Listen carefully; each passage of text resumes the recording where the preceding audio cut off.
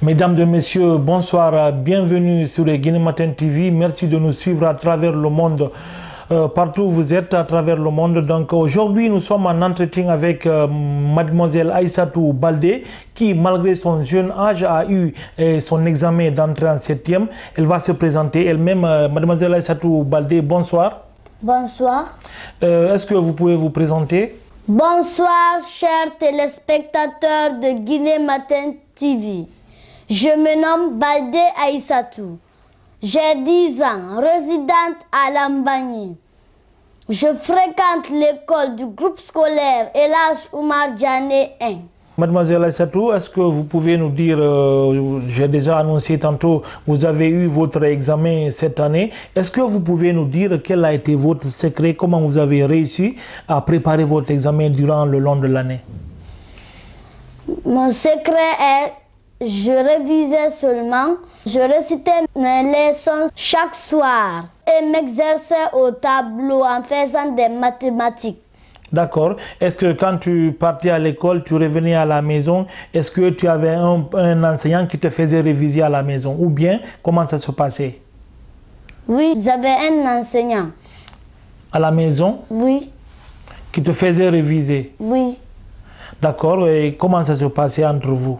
Au départ, j'avais un répétiteur à la maison, mais pour la sixième année, j'avais pas. Quand je revenais à la maison, c'était pour manger et repartir. Et quand tu repartais à l'école, est-ce que tu pouvais me dire comment vous arrivez à réviser avec euh, vos amis, avec euh, le maître? Est-ce que c'est avec le même maître qui vous enseignait? Oui. Comment ça se passait? Vas-y, explique un peu.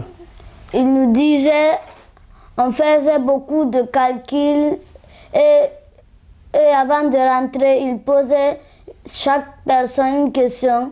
Ce que si tu ne réponds pas, tu ne vas pas sortir. D'accord. Et mademoiselle Assetou, est-ce que tu peux nous dire, euh, euh, tu veux devenir quoi dans l'avenir? Quand tu finis les études, qu'est-ce que tu veux devenir? Qu'est-ce que tu veux faire à l'université? Quand je vais grandir, je vais être ingénieur de bâtiment. Pour faire quoi? Pour construire des, des bâtiments pour mon pays. D'accord. Est-ce que tu peux nous dire euh, qu'est-ce qu'il faut euh, pour réussir un examen?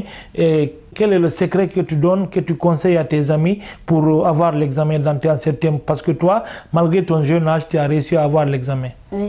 Ce que je vais dire à mes amis, de redoubler d'efforts. Les gens qui n'ont pas eu cette année, qui n'ont pas eu la chance d'avoir cet examen, de redoubler d'efforts. Inch'Allah, l'année prochaine sera une, bonne. Une bonne année pour eux. Est-ce que tu vas continuer à réviser le même engagement que tu as maintenant là pour avoir ton brevet et puis ton bac? Oui. D'accord même au brevet, je vais continuer la même chose que je faisais en sixième année, jusqu'à ce que je finir mes études. C'est-à-dire C'est-à-dire réviser? Réviser du matin jusqu'à 14 heures, revenir à la maison, manger, et repartir.